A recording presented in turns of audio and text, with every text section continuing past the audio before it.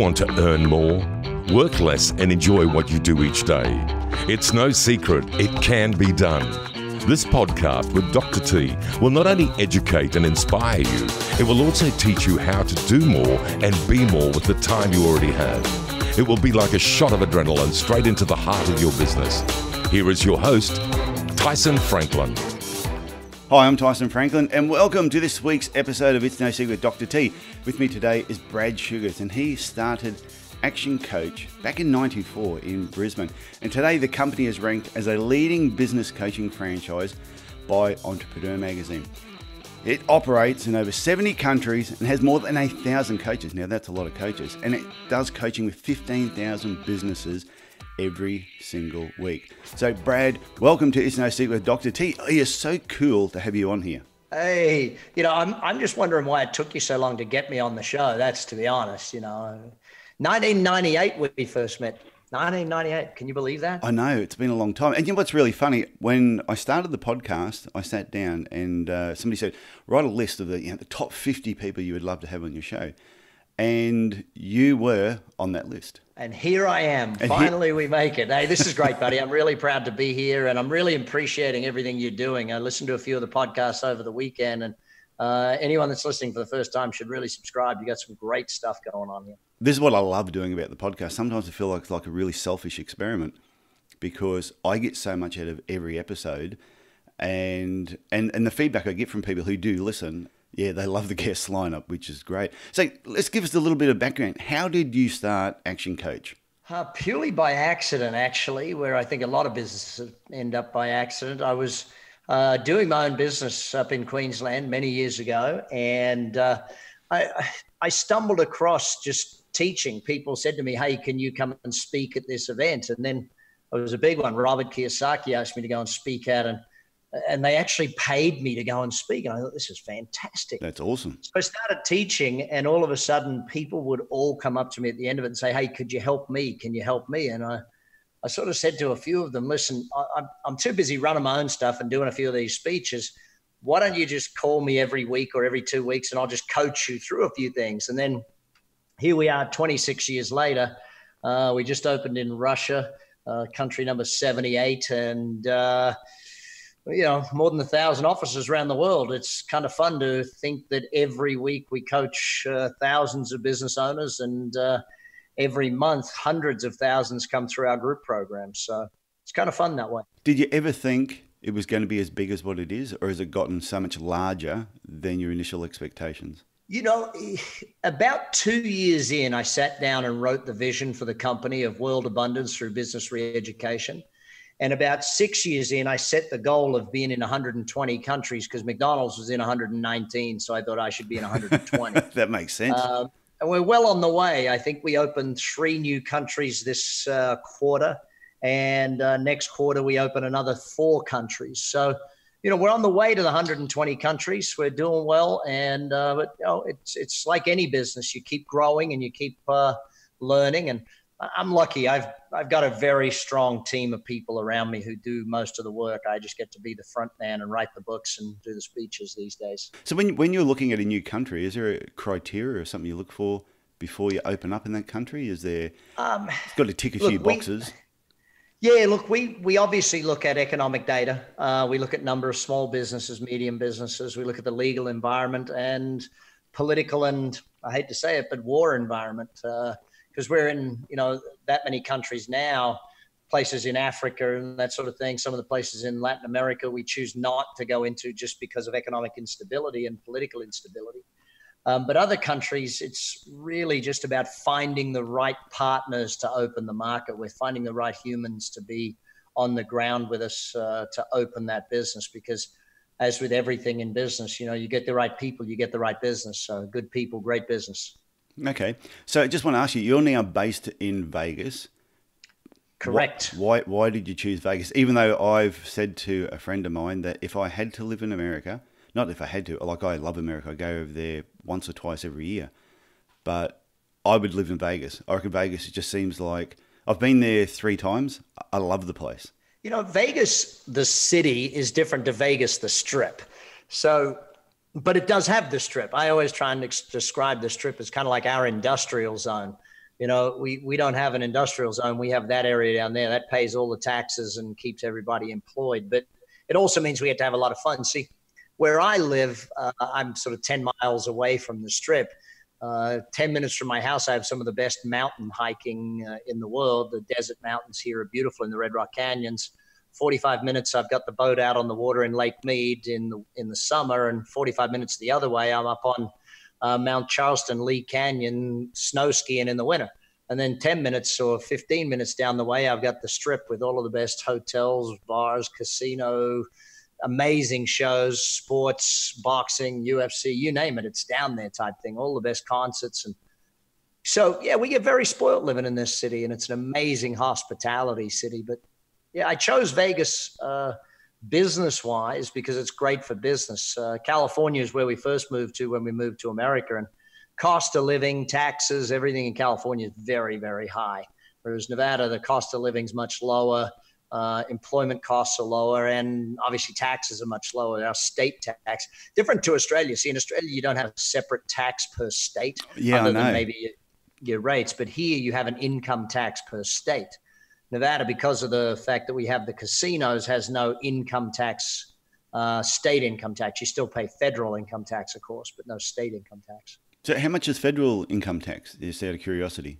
Uh, it really varies now. The new uh, Trump administration has reduced our taxes quite dr- drastically um, to spur on the economy. So uh, anywhere from you know business will run 18 to 30 percent, anywhere in that bracket is, or 15 to 30 percent, depending on uh, the type of business you're in and the and the employee the number of employees and all that stuff. Let's put it this way: much less than in Australia. Yeah. So if you have a company and your company pays tax and then you pay yourself a wage, do you have to pay tax out of that wage? Uh, depends on whether it's a personal exertion company like a lawyer or a doctor or that, then then they do. If it's a normal corporate entity, it's a different structure. So these things have all come about in the last two years. It's totally changed. I remember coming back to Australia giving a speech. Uh, it was Small Business Week, and uh, Kevin Rudd was running for Prime Minister against oh, uh, Kevin 07. Sir John. Sir John Howard. I always call him Sir John. I think he was the best prime minister we've seen in a long time. Yeah, it was. Ke- and, I think the um, campaign was Kevin 07. It was. Um, yeah, Kevin. It was. Oh. See, these days you win an election these days based on your your hashtag or your or your, your uh, motto. ScoMo had to win. That's why Anthony Anthony Albanese's never going to win based on his hashtag. No, but did, um, wasn't that funny though that the uh, the opposition party were calling him ScoMo, but they were trying to use that as a negative and all of a sudden yeah. they got hold of that and they used that as part of their campaign. And then when he yep. won the election, the whole crowd is going ScoMo, ScoMo. And now, I tell you, with that with that nickname and that hashtag, I can't see him getting voted out. You know, it's an interesting one. It's there's everyone always gets voted out eventually. John oh, Howard yeah. proved that. Uh, you know, down in Victoria, uh, Bloody Kev proved that as well. Um, but the point of it is that you know, I see Australia as this country of amazing entrepreneurs because it's a tough. When I gave that speech, I was between the two of them. Kevin spoke on the night time, and uh, John Howard spoke at the the luncheon the next day, and I spoke in the middle. Oh, sorry, other way around. John Howard spoke first, and Kevin second. And uh, I tried to teach people that Australian entrepreneurs are some of the most amazing entrepreneurs in the world because we have such a tough economy to be successful in a very small population, massive distribution costs, huge wage expenses, yeah. ridiculous holiday pay that we have to give people. You True. know, four weeks plus 13 days public holiday plus 10 days of personal days. You know, it's just, it's incredible. I remember negotiating in Japan one time and they looked at me as if I was lying when I told them about the 17.5% leave loading. So if you can succeed in Australia and you don't go global, I think you're crazy. I think you're insane. People always say, "Oh, Brad, why did you go to America?" Well, you know, I was a big fish in a little pond. I want to become a small fish in a big pond.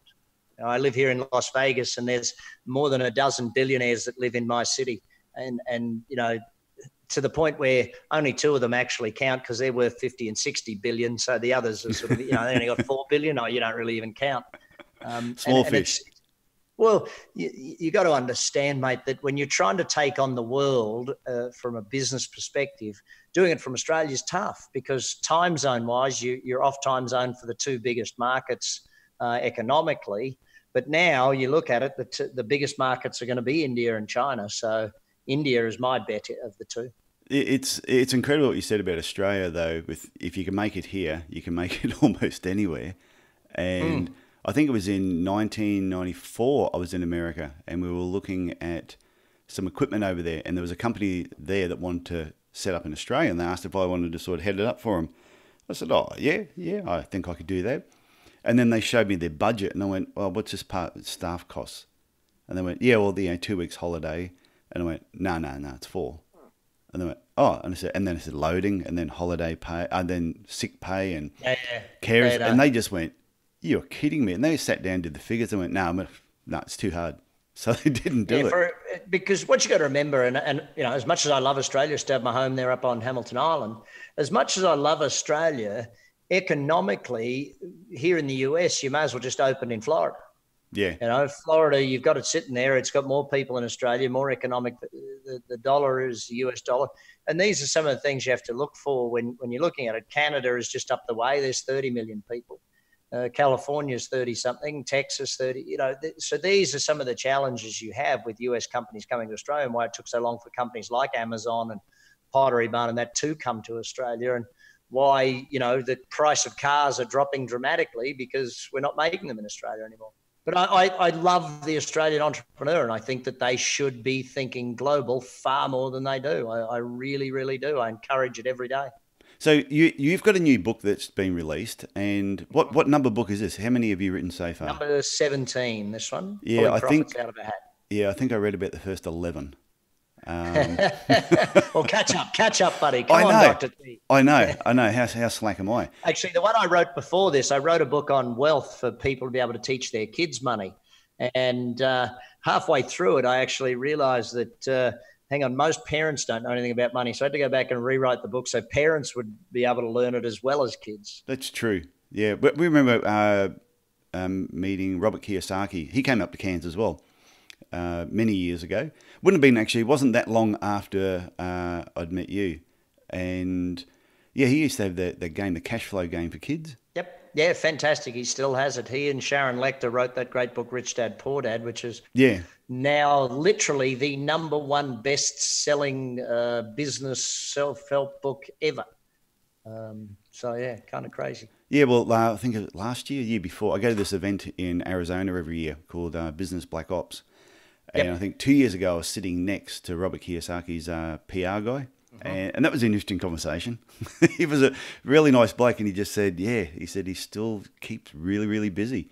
He said all based off of just a, an idea, a concept from that that first book, Rich Dad Poor Dad. Well, interestingly enough, when you look at it from a marketing perspective, that book was actually written as a brochure. It was written as a brochure for the board game. It was never meant to be a book in and of itself, but it became a a, a massive phenomenon. So you never know what marketing will work. You just got to keep doing it out there and getting it out there. So yeah, so mm. so pulling profits out of a hat. That's your mm-hmm. latest mm-hmm. book.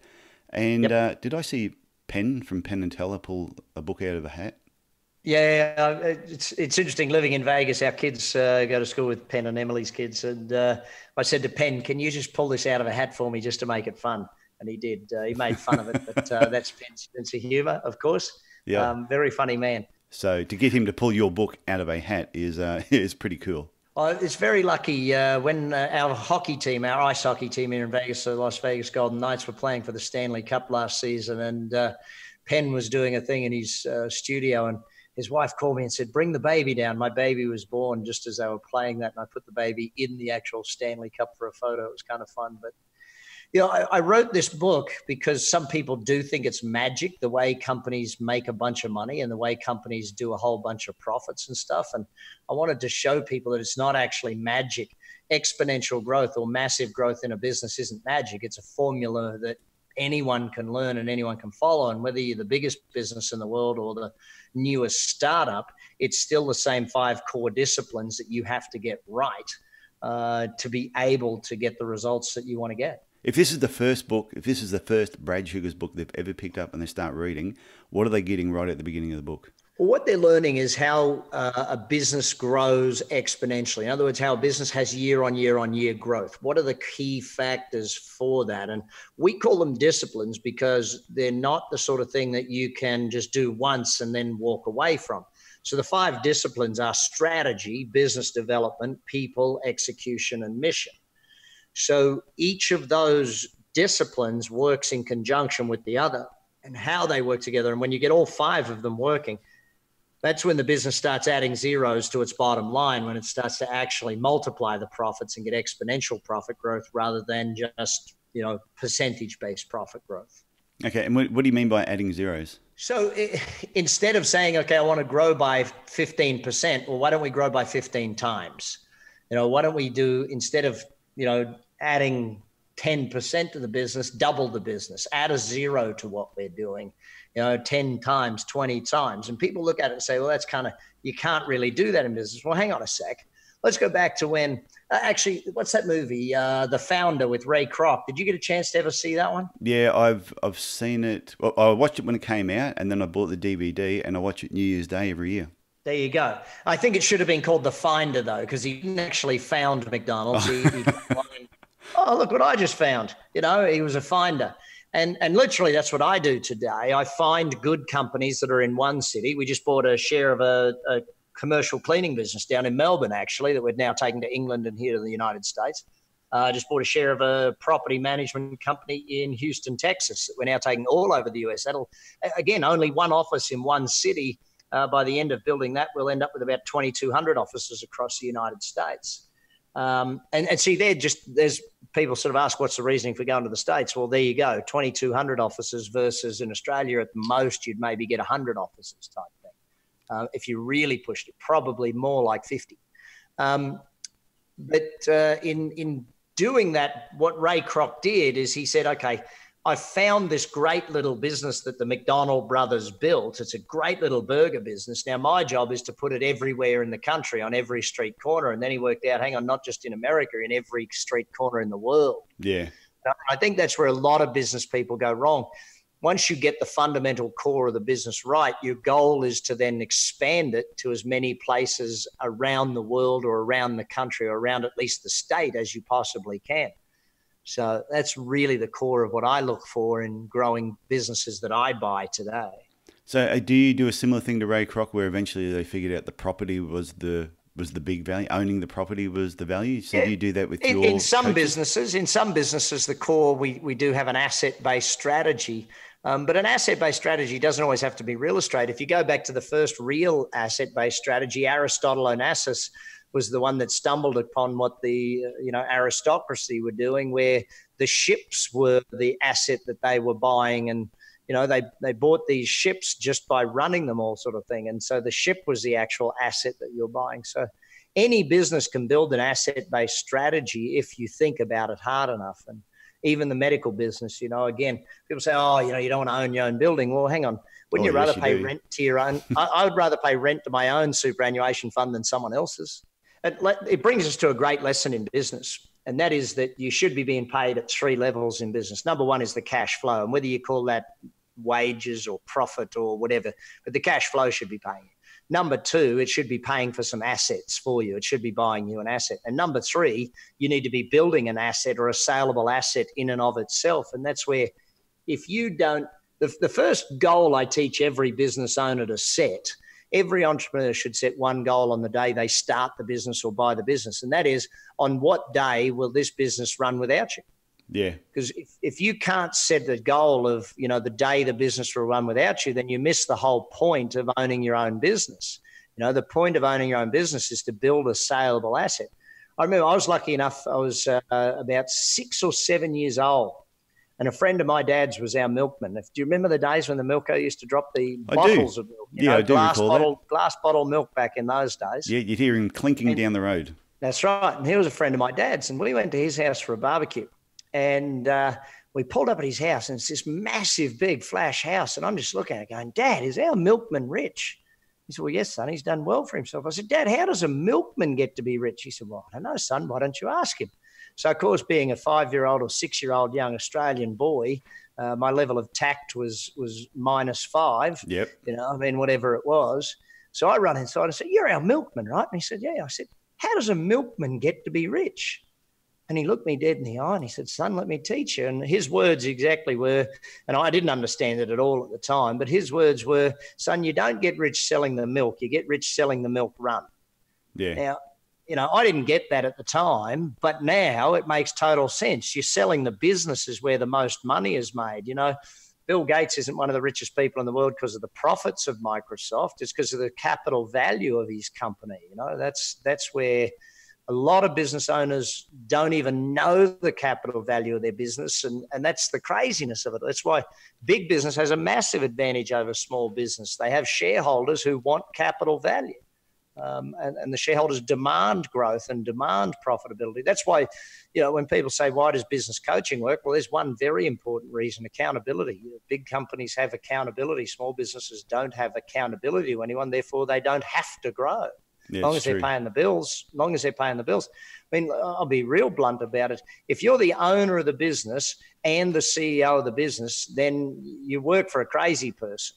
Um, I've done that before. I've done that for a few years. Yeah, I mean, but let's let's be really thinking about this, right? Because ultimately, if if you are the CEO and the owner of the business, you're not pushing the CEO hard enough, and therefore no one is really growing the business to the level with which the business should be grown. So, you know, I, I, I like to think that we teach people to be great business owners, not just great CEOs. Yeah, there's a couple of points here I want to point. Uh, I want to mention. One was when you said about if you're the business owner. I remember when I was at your event and uh, you said, okay, everyone stand up who owns their own business, who is the business owner. So, mm. yeah, probably 90% of the room stood up. Not everyone was a business owner. And he said, stay standing if you could, uh, you don't have to go to work tomorrow. You, you just choose right now, I'm not going to go to work tomorrow. So a lot of the room sat down, a few of us stayed standing up. You asked another question, and a few more sat down, and I think I was standing up with about six other people. And then your last question was, okay, could you just jump on a plane tomorrow and disappear for four weeks and not tell anyone at work where you've gone and come back and everything be normal and be running perfectly? we all sat down. He said, you don't own a business yet. Yeah, mate, that's that goes back to my definition of a business. a business is a commercial, profitable enterprise that works without you. Yes. Um, you know, and I, I and it doesn't matter whether you're in the medical field or any other field. I remember one of my clients, uh, or one of our coaches' clients over here, Atlanta, Georgia. Here's a guy. He was uh, the the chair of the board of uh, uh heart surgeons, right? I forget the exact terminology, whatever it is, but I had a few beers with him one night talking about this. And here he was in his mid 50s, and then something happened to him, and he had to go in and have a couple of stents put in. And boom, he sat back and he went, Oh my God, I am the business. If anything happens to me, I don't have a business. So he now has a business with 20 odd doctors working for him, big surgery center, all that sort of stuff, five, six years later, because he actually got it that I can't, I have to become a business person first and a doctor second. Yeah. But I just want to point out to people if anyone's listening to this and they're working in the business, say they're a podiatrist or a doctor or the other other field, and they love doing what they're doing, doesn't mean you have to give it up. It just means you have a choice to stop or cut back when you feel like it or take a break. Well, you have to be able to give it up. Yeah. And that's that's a big big differentiator for a lot of people because if you're not able to give it up, then what ends up happening is when when you do want to give it up, you end up having to basically give it away. You know? Because when you go to sell, and this is where a lot of people struggle with this whole concept of it. If you want to actually make real money selling a business, then you've actually got to sell a business, which means you're selling an asset because otherwise the only thing you can sell is your podiatrist business to another podiatrist. Yeah, true. No, no one else can buy it. Therefore, you're not going to get the massive amount of money that you could have or should have got. I, you know, all businesses where they get lower multiples are businesses where they're selling a job rather than a business. Yeah, and that was when I sold my podiatry business. The best part about it was I didn't work in it. I didn't work there anymore. I used to just turn up every now and then just to make sure things were running. Yes, I worked zero day, days per week. I had podiatrists already that were lined up, all working. The business basically ran without me, even though I still mm-hmm. oversaw what was going on. So when they purchased it off me, I, I wasn't part of the deal. I didn't have to work yeah. there when it was sold. They, they knew what they were, what they saw was what they were actually getting. It wasn't my input that was keeping it running. That's right. If you're the CEO and you're also working there and you're working for a lunatic and you won't push yourself as much, this comes back to the benefit of having a business coach because the business coach will push you more than you'll push yourself, just like any other coach. Oh, yeah. Yeah, look, I know, I'm, and I'm after I get off the call with you today, I'm chatting to two of my long-term coaches in Australia, um, and and look, there's three reasons coaching works. One is the knowledge it brings. Two is the accountability that they bring to the table, and the third is that they can see the forest for the trees. You know, an outsider looking in will see stuff for what it really is. Um, you know, it's, it's, any business owner. If I said to them, "Hey, go and look at that guy's business and tell me ten things they're doing wrong," they could very quickly see it. And then you say to them, "Okay, look at your own business and tell me ten things you're doing wrong." It's very hard to see it in your own business. Okay, you've got the, the biggest coaching business in the world, yet Brad Sugars has a coach. And I have three different coaches: one for finance, one for business, and one for life. So, um, yeah, you got to you got to. I mean, if you don't eat your own cooking, um, yeah, what they say in the in the um, IT world, you got to eat your own dog food.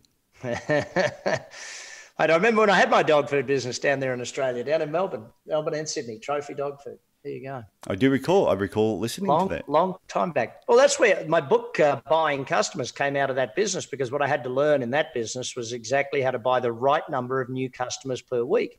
Because you know a lot of businesses, you say to them, "How many new customers do you want a week?" and they go, "Oh, as many as I can get." Well, no, not really you want to have a certain number because if you get too many, then your customer service is going to go way down. And if you get too few, then you're not getting enough to keep your staff busy and your cash flow moving and all that sort of stuff. So it's it's interesting when people sort of think that they want that. In that business, we had to put vans on the road, and so every time you put a van on the road, you needed X number of new customers per week to get the van loaded up and busy.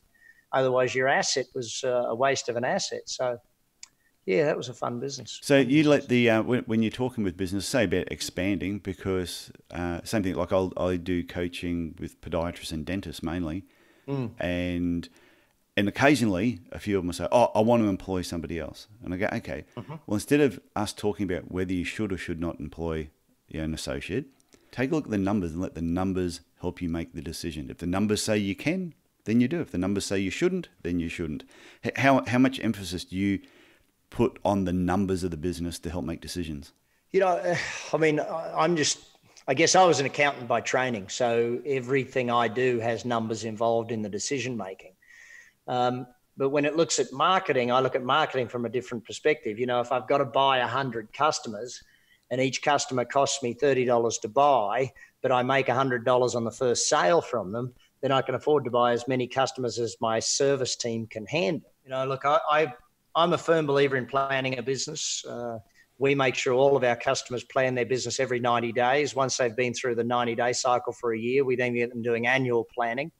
Once they've done annual planning twice, we then get them to do a three to five year strategic plan. So, you know, that's where I'm a firm believer in knowing where you're going because you planned it.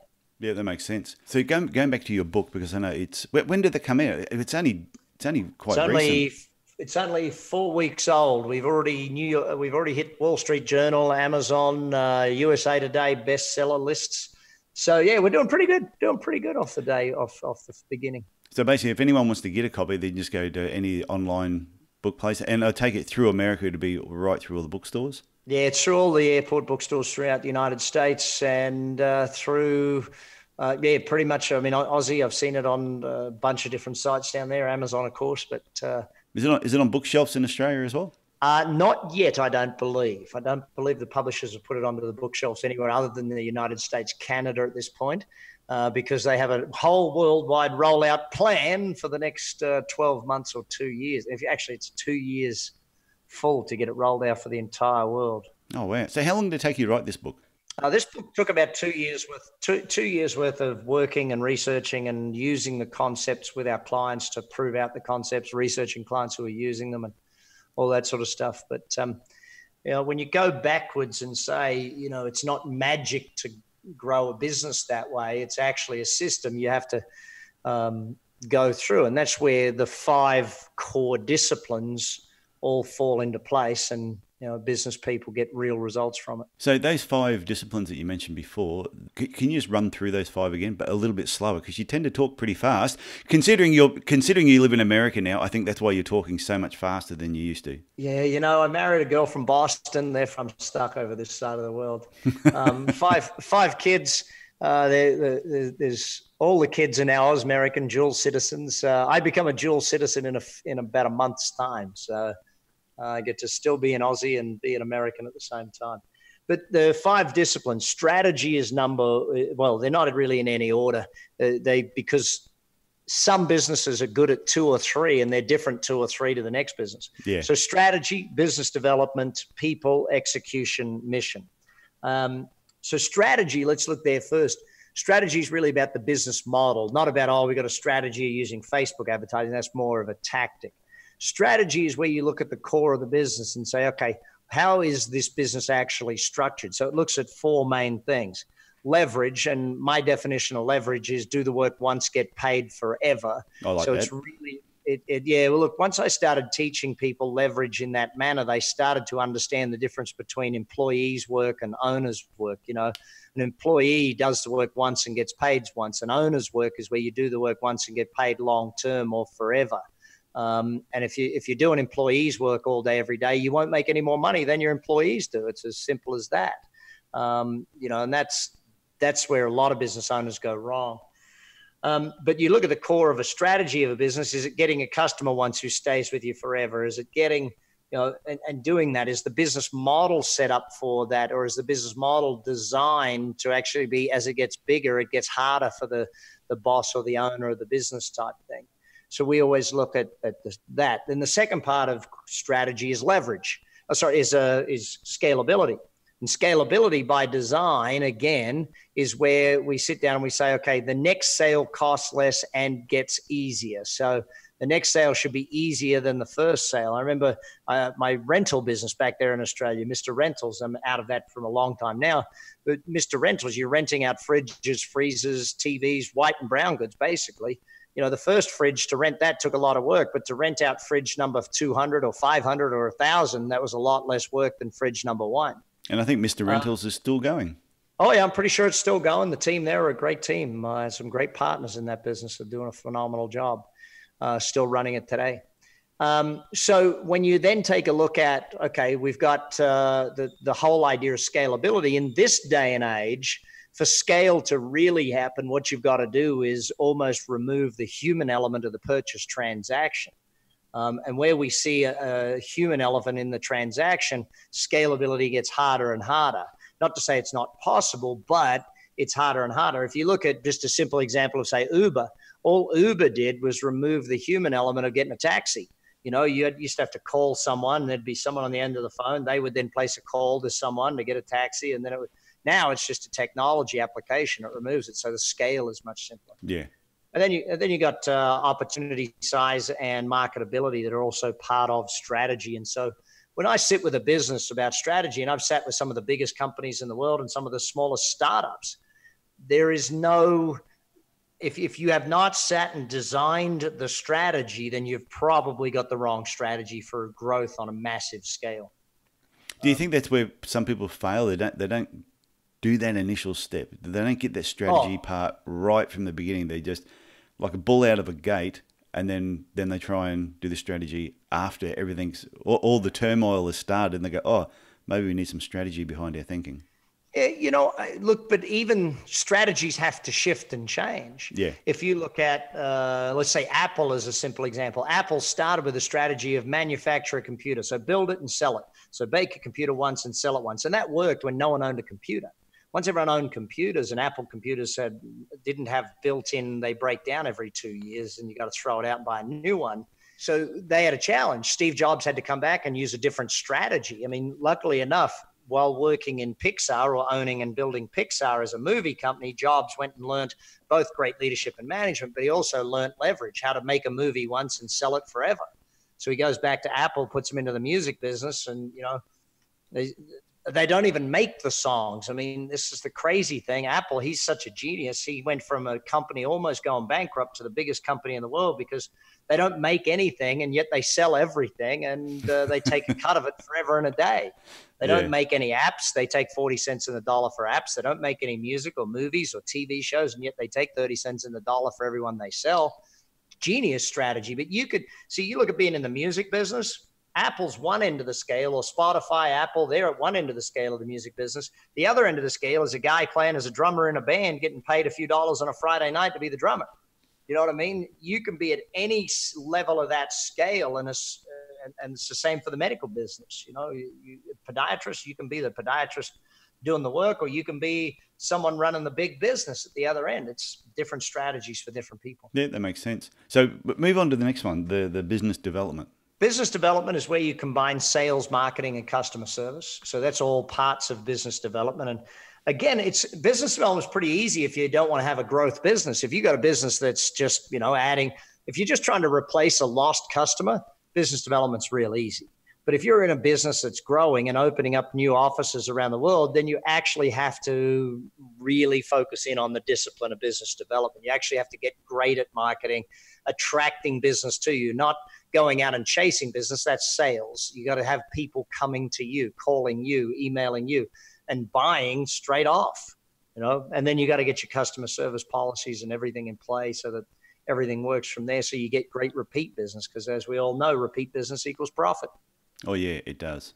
And and that's I think sometimes business owners they're so quick to move on to the next new customer that they forget about the one that they've already got in their business and getting them yeah. back and getting them back more often and offering like them the, more each time. The gymnasium, I love gymnasiums from that perspective. Like, yeah, yeah, we got a new customer. Great, you just lost twenty out the back door. Yeah. Oh, was it uh, like gym memberships? Yeah, yeah, no, crazy in that front. So then uh, people is next, um, and I think this is a massive one that gets missed by a lot of people. Is that if if you grow your people, they'll grow your business. If you don't grow your people, they can't grow your business. No one's ever outperformed their training, if that's the simplest way to put it. And, uh, I actually had a gentleman in Ireland recently uh, argue with me on this point. He said, "But Brad, when I train my people, they leave." And I said, "Yeah, I know. And if you don't, they'll stay." I've heard somebody else say that once before too, and uh, yeah, you got to laugh. I remember uh, actually just was it uh, last year I was doing a speech in Dublin, and it was kind of fun because before me was Lady Michelle Mone speaking, and uh, Michelle is a baroness in the House of Lords, and after me was Sir Richard Branson. So it was like the the lady, the convict, and the Lord. This is fantastic. You know, throw an Aussie between the lady and the Lord.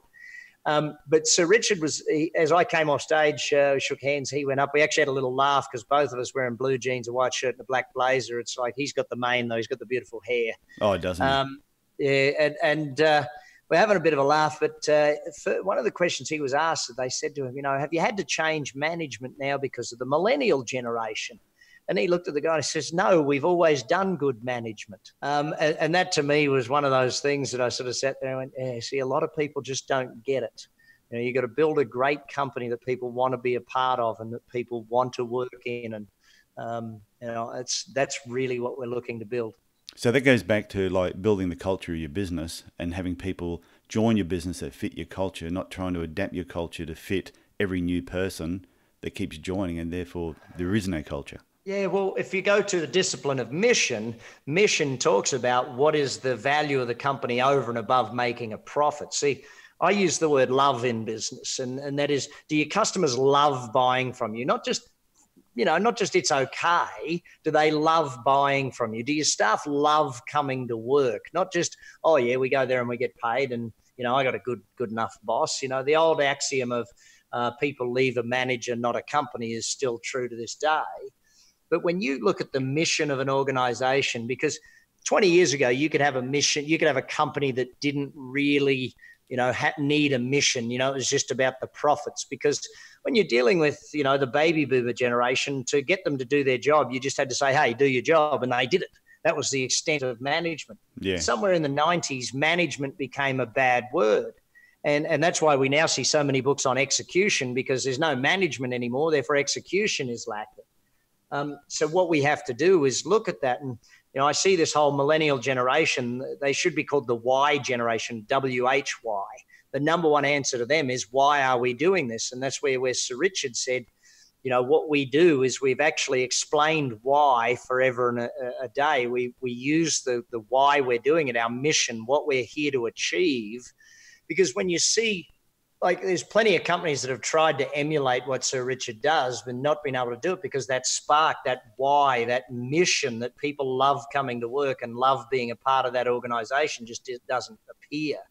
Um, and, and, you know, so millennials have turned us into having to do great management. And I always laugh when people go, oh, the millennials, they're the laziest generation ever. I remember my generation being called that. And I was with someone the other day, and he he grew up in the '60s, and he said, "Oh, they're so lazy, the millennials." I said, "Do you do you not remember what your generation was described as?" And he looked at me, and goes, "Oh yeah, yeah." But but I think that's all the way that's all the way through because I saw a photo on Facebook. Oh, it might have been a year ago, and it's it's done, it's gone the circles a few times, and it showed a photograph of a bunch of millennials on a train, and they're all got their heads down, looking at the mobile phones or iPads or laptops, and they go, and then it had like 2018, then it had uh, 1958, and it had the whole a, a train there, and all these people probably around the same age, but they're all reading the newspaper. No one was talking right. to each other. So yeah. they, they could sit there and bag millennials and say, oh, look at them, they don't talk with each other, they're always on their phones. But back 60 years before that, all reading the newspaper. Here's the interesting thing, right? I, I've we hire a bunch of millennials in different companies, and one of our brands, we actually only hire millennials in there because we're doing a lot of online selling. And our online selling department, if I try and get like my CFO of all of our brands, uh, Tony's in his late or mid 60s, mid 60s. And whenever the, the team from that company comes forward and tries to present something to Tony, you know, they always laugh and they go, Really, boss, we've got to get Tony to understand this? I said, Yes, because if Tony doesn't understand it, no one's going to understand this thing. It's too bloody hard. So, you know, we always joke about it, but my goodness me, when you look at the funnel, you know, in if you go back and say, okay, there used to be these things called infomercials. Well, now there's still infomercials. They're just all online. Yeah. You know, and you see the level with which we're getting amazing results from businesses that are doing things online that are just way, way, way out of the mindset of anyone. This is where, you know, I remember Bill Gates being interviewed many moons ago saying, listen, there's probably a kid in a garage somewhere trying to put Microsoft out of business so we stay ahead. And he, he was damn close to it. It wasn't a kid though in a garage. It was two kids in a, in a dorm room, Larry and Sergey. You know, they built Google and almost put Microsoft out of business. You know, there's these are some of the things that people need to understand. Microsoft, dang, if it wasn't for this new CEO, Microsoft was getting close to going out of business. This new CEO has turned it into a phenomenal business, re strategized the whole thing. They don't sell software anymore, they rent you the software. And you've got to, you know, you pay your ongoing rental for your software with Microsoft. And now that business is booming again. Do you know what I mean? It's it's kind of crazy. Hasn't there been a big change though? Is we we don't really own too much anymore. Everything is on a subscription sort of basis. Yeah, and that's because businesses understand that strategy is a far better strategy than selling at once. Yeah. You know, you, you look at uh, all of the rental businesses in Australia, yeah, they're not making any money. Oh, yeah, they're making so much money that they actually go on TV ads for the bank showing how dang good they are. You know, that's how good they are. So, so when, when we went through those five five parts, we had strategy was one, two was business development, three was people. We jumped mm-hmm. four and we went to mission, which was number five. So number four was execution. Because execution is really where you know the rubber hits the road, and this is where management, planning, systemization. I mean, you just look at checklists. I, I, I'm a firm lover of checklists in business, and I, I've always said you know, would you get on an aeroplane if the pilot didn't do the pre-flight checklist? Well, no, you wouldn't. Why not? Well, I want to live. How often do you want to live on an aeroplane? Well, every single time. Great. So if you want your people to do a great job every single time, they need to have a checklist for every single thing they do. And if you want if you want consistent performance, then you need a checklist. It's not not a complex algorithm. This is pretty dang simple. But unless you do that, you're not going to get the results you want. But you know, when you combine, and again, like with business development, if you're just replacing a lost customer, um, execution's not that hard. But if you're in a growth oriented business, opening new offices or opening new things, like for us, we open in a new country approximately every month. We open a new country somewhere in the world approximately once a month, sometimes every two months. Like we just opened in Russia. And to open in Russia, we have a full systemization of here's how we open a new country here is the steps, here's the thing. Like, you know, how often do you think Subway opens a new sandwich store somewhere in the world? Every day they're opening between two and five stores a day. Yeah. So they've got a full system for opening stores and a whole team just doing that. So again, it's it's different levels for different levels of growth. But as you start planning your growth and seeing where you're going, obviously the game changes and the level of execution needed changes. Okay, so before we before we wind up, there's just a couple of th- more things I want to ask you about. So, so with this particular book, we know you can get that everywhere. You've written mm-hmm. 17 books. If somebody read this book and they went, "Holy crap, I really like that. This Brad Sugars guy sounds like he knows what he's talking about." What would be the next book that you would recommend of your 17 that they should read? Oh, dang. See, that, that's a tough question because it's going to be different for everybody. See, if they're, if, they're, if they're young and they don't, and they want to, and they're in startup mode, I'd recommend Billionaire in Training because that then gives them an understanding of how is wealth created through business. What should they be doing? Um, but then if you flip it over and say, okay, maybe their problem is mostly systems, then obviously instant systems. Or if it's team building, then the team building book. And I think that's different. I'll put it really bluntly, mate, to make this really easy for everyone, Dr. T. Just buy all of them. Just just get on buy all 17 and, and, and don't worry about it. Just do a bulk order. Uh, that was what I was yeah, actually going to say, that maybe they just they just need to buy more. I'm looking forward to reading this next one. You know, it, it's interesting. Um, it's my biggest book ever, 390 something pages. It weighs uh, uh, probably a kilo and a half, and um, it's it's a big dang book. But we fully graphic de- designed and full color printed the whole book because, uh, in my opinion, learning needs to be made easy, and sometimes graphics make it easier to understand the point that is tr- being made uh, through what you're doing. So that to me was sort of one of the big things for us. Yeah, using visual models or just visually explaining something too. Because some people don't, yeah, they can read things that uh, 10 times and it goes in one ear and out the other, but when they see it visually, that picture can actually sits in their mind better. And that's why, you know, I, I remember always being one of the teachers that my goal was to make everything simple. You know, I remember reading a quote from Einstein where he said, you know, I forget, I'll have to paraphrase it, but it was if you can't teach it simply, you don't know it well enough to be teaching. That's it's not his exact words. And so my goal has always been that. And I remember one of my accountants many years ago down in Melbourne, Australia. Um, he said to me, Brad, we should call you sucrose. You're like a simple sugars. You make everything seem so bloody simple. And, uh, Sorry, that's thanks, funny. Thanks, Harry. Thanks, Harry. Sucrose. Um, but you know that was it was an interesting one that as a teacher, my job has always been to simplify. And that's why I've been lucky enough having bought into so many companies and having run so many companies that um, literally these days, uh, you know, every lesson comes from it. Like, you know, a company that I partnered with down in Australia, Engage and Grow, where Rich Maloney, a young guy from Melbourne, Australia, who has this amazing employee engagement program, you know, I bought a share of Rich's business, and now it's all operating all over the world. More than 60 countries, a finalist in the Telstra Entrepreneur uh, Export of the Year. I uh, just invested with a young guy also down in Australia, Travis Bell, who's known as the bucket list guy, uh, and helping him take his business. He's now operating in 14 countries around the world with people certified as bucket list coaches all over the world. So uh, another another guy in uh, Brisbane there, Nick Clark, who built an amazing business planning system and has a virtual CFO system that now I've taken that all over the world. We're now opening all across uh, England, and then we'll open the rest of the world. So, mate, I love the Aussie entrepreneurs, and I love backing a lot of them to help them open up all over the world because I think they're great. I think it's fantastic. And if people want to reach out to you or find more information about you, what's the best way of contacting Brad Sugars? Um, jump on any social media, um, you know, Insta, Face, uh, YouTube, LinkedIn. I'm on all of them. Uh, not Pinterest though. I'm not very crafty. Um, yeah, I found but, you on. Uh, I found you on Facebook this morning. Well, actually, yeah, I found yeah, you on Facebook a while action ago. Coach, actioncoach.com or bradsugars.com, any of those. Uh, the new book, if you can't find it, just jump on pullingprofits.com and order it direct from us. Okay, I think they're, they're, that's a good idea as well. Uh, one last question. Always uh, yes. ask a lot of people like a Monday morning tip. So it's Monday morning, person's woken up, they've walked into work, they've sat down.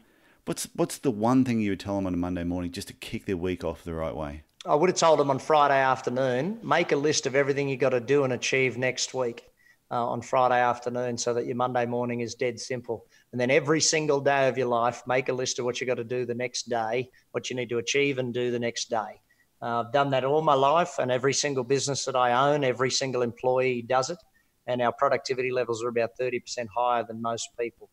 Um, if you write a list every day at the end of the day of what you got to achieve the next day, life becomes very easy. I actually started doing it, my friend, because I couldn't leave work at work.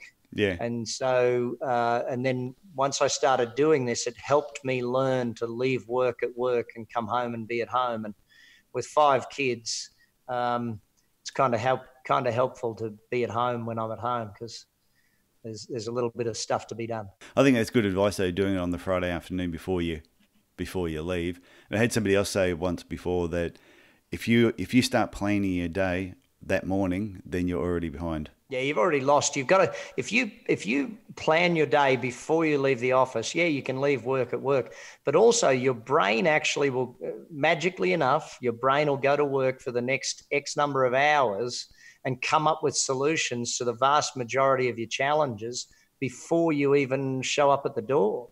You know, the, the, brain's amazing like that. When you let it sit with an idea overnight, it'll come up with a lot of solutions. Okay, so Brad, I want to thank you for coming on. It's no secret, Dr. T, and and I want people to know that the benefit of coaching, the benefit of reading books that have been written by people that have actually done things and have and are still doing it. So yeah, have you got any final words? I, I, just want to go back to the thing that I learned. Brisbane City Town Hall, 16 years of age, Jim Rohn, E. James Rohn. He said, Son, if you want to be successful, read a book a week for the rest of your life. Simple as that. Yep, I think that's fantastic. And when I mentioned before, yeah, I went to your first event in 1998, and, and my business was going, ah, it was going okay. But it wasn't till that one week, two day workshop that all of a sudden a switch went off in my head and things actually started to come together. And it was that five years later, uh, we won the Telstra Award, which was pretty cool. So I think that's also the benefit of attending live events because you don't know which one it's going to be, and you don't know which speaker it's going to be that will be the one that just sort of resonates with your thinking. There's another thing I'll say about that, mate, is that you know, I, I, I, think everyone should read and read a ton, but I also think that when you go to a live event, it's it's like you know, having the music on your on your iPod versus going to a concert. There's a shift in you as a human that happens at events that just cannot happen at, uh, at, at just by reading. So read the books, then go to the live events and keep on learning. No, I think that is a fa- that's fantastic advice to finish on. So, Brett, thank you very much. Dr. T, great to be here, my friend. If you're, by the way, anyone listening to this, subscribe to his podcast. He's got some great people on here. See, that's that's better when somebody else gives the endorsement. It's not just me all the time. Thanks for that. Welcome, buddy. Welcome. I love what you're doing. Well, I hope you enjoyed my conversation today with Brad Sugars discussing his latest book, Pulling Profits Out of a Hat. And because the title comes about because pulling profits out of a business is not magic. There are disciplines that you need to follow, which he did discuss in quite good detail. So if you want to grow and scale your business, I think you need to take those five disciplines on board. And while we're talking about books, I also give my own two books a plug. First one, It's No Secret There's Money in Podiatry, which is very podiatry specific. And the second one, It's No Secret There's Money in Small Business. Both available on all your online book platforms. And I do have a third book coming out later on this year, so just stay tuned for that. Now, if you have any thoughts after listening to this particular episode, I would love to hear from you. You can leave comments on my website, tysonfranklin.com, or you can reach out to me on Facebook and LinkedIn. Just look for Tyson E. Franklin. So that's it for me this week. Look after yourself, look after your family, and I will talk to you again next week. Bye for now.